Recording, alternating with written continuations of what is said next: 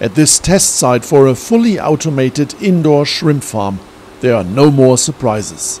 Two years after the start of the project, the team, led by founder John Diener, is going to market. In the second half of this year, we will have 60 of these tanks. And then there's a, a, robotic gantry that goes up and down the middle of that racking system.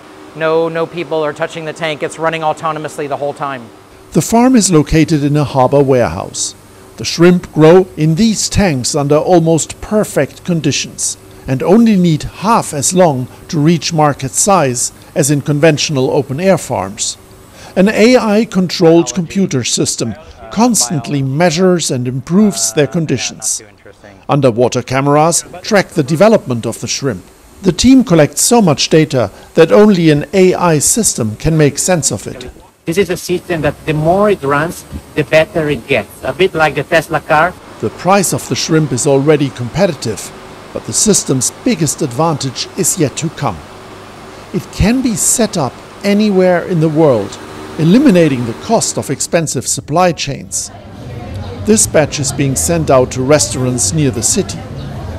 Just hours after they come out of the water, customers here can enjoy raw prawns pickled green chili and a little horseradish and lime. So we always tell them where the prawns come from and that it's like locally farmed in Singapore, which is different. Like you can't, most things farmed in Singapore you don't want to eat. Yeah, I mean, the waters here aren't the greatest, right?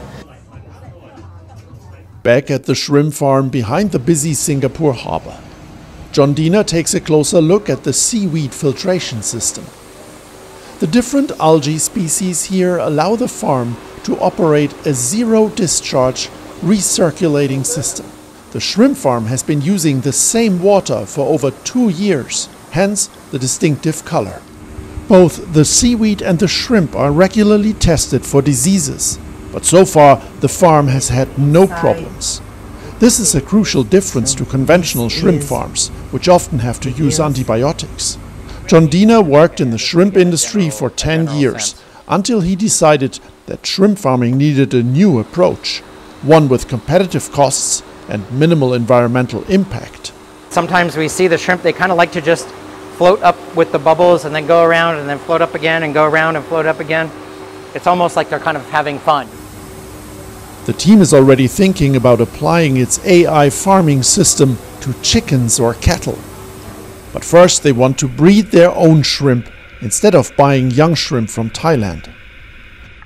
According to the two founders, aquaculture is just the beginning for this new generation of agricultural systems, in which the computer is the farmer.